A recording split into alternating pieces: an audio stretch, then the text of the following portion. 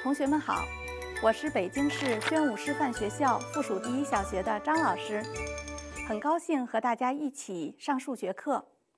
今天我们上一节用二至六的乘法口诀求生解决问题的练习课。上节课我们通过解决分粽子、分茶叶的问题，对除法有了更深入的认识，而且。你们还能根据同一个算式讲出不同含义的故事，真是了不起！张老师想请你们帮忙解决下面两个问题。学校买来十五个拖把，第一个问题是每个班分三个，可以分给几个班？第二个问题是平均分给五个班，每个班分几个？相信同学们已经想出答案了。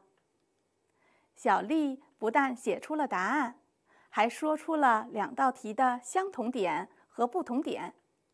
这两个问题都是在平均分。第一题是把十五个拖把按照每三个一份来分，求可以分成几份，也就是求十五里面有几个三。列式是。十五除以三等于五，单位名称个，表示可以分给五个班。第二题是把十五个拖把平均分成五份，求每份有几个。列式是十五除以五等于三，单位名称个，表示每班分到三个拖把。看来同学们对除法运算的意义已经非常了解了。除了除法，我们还学习过加法、减法和乘法。让我们到生活中继续去找一找，解决更多的数学问题吧。过节的时候，很多地方都有贴福字的习俗。下面我们来看看这两个问题。第一小题：八张福字，送给每户人家两张。可以送几户？第二小题，八张福字用去两张，还剩几张？你会解答吗？请你在纸上试着列式计算。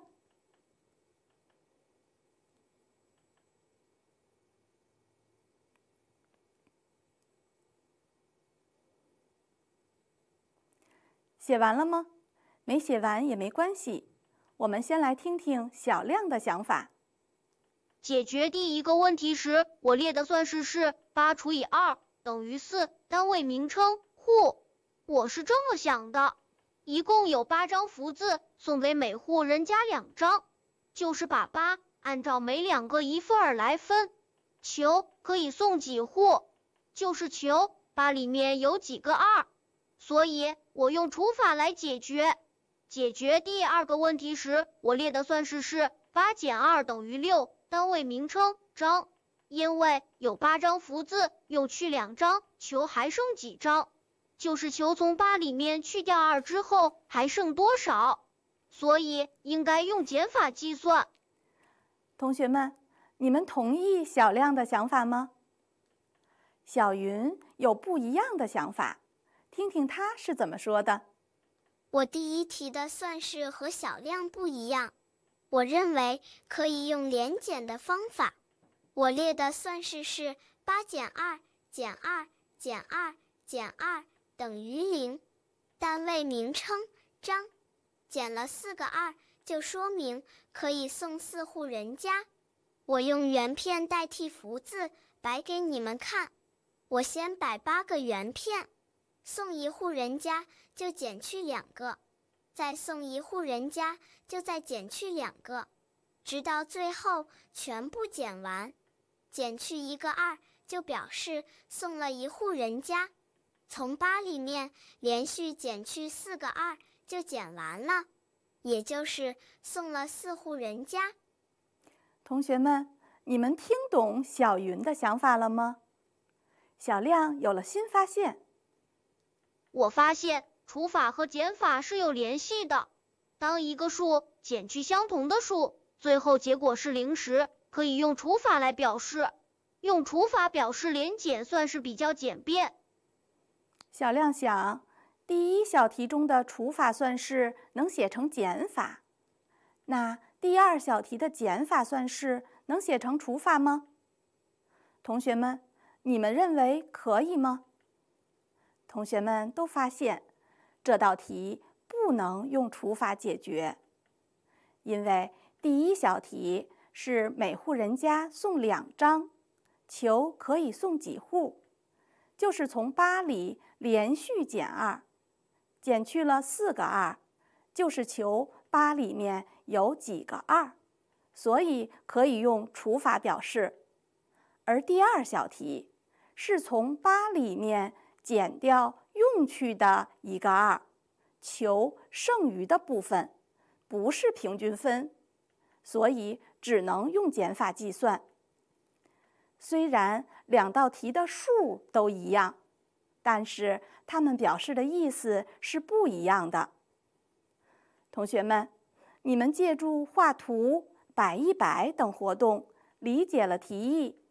又在对比当中发现了两种运算既有联系又有区别，所以我们在解决问题的时候，一定要先仔细分析、理解题意，弄清数量关系之后，再选择合适的运算方法，才能正确的解决问题。大家请欣赏，这是一些中国结，中国结。是一种中国特有的手工编织工艺品，有很多不同的样式，代表着团结、幸福、平安。特别是在民间，它精致的做工深受大众的喜爱。这是编织小组的同学正在制作的中国结，它是由两部分组成的，上半部分像朵小花儿。叫盘长结，下半部分像鞭炮，就叫鞭炮节。一个盘长结搭配六个鞭炮结，就组成了一个完整的中国结。编织小组的同学还带来了两道数学问题，我们先来读读题：一，一个中国结上需要六个鞭炮结。要编五个这样的中国结，需要多少个鞭炮节？二，十八个鞭炮节够做几个左边这样的中国结？这两道题的意思你明白了吗？会解决吗？请你试着做一做。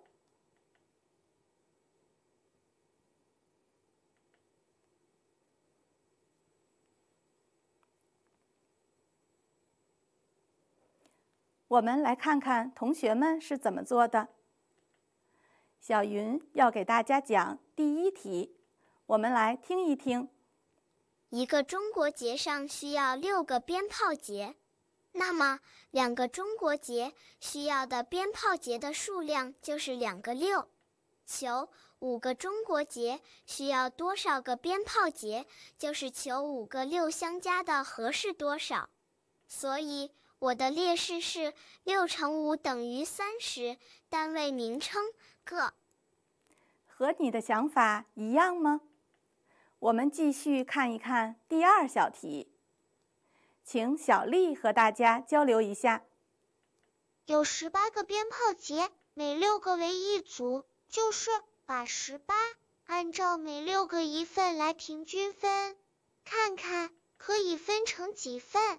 也就是在求十八里面有几个六，所以我列了一个算式是十八除以六等于三，单位名称个，能做三个左边这样的中国结。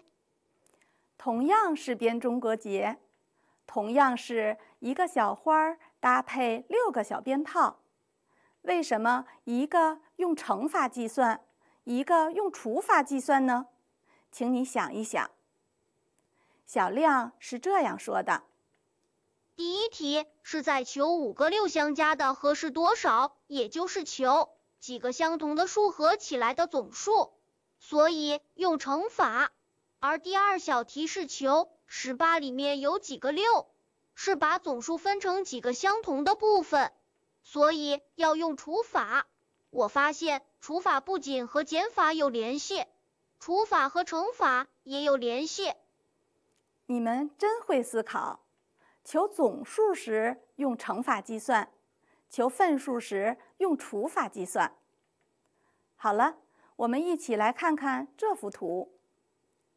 通过看图，你知道了什么呢？我们来看看同学们的发现。小亮说：“我知道这里一共有六个花盆，每个花盆里有三棵多肉植物，还知道一共有十八棵多肉植物。”你能将这些信息改编成数学问题吗？快试一试吧。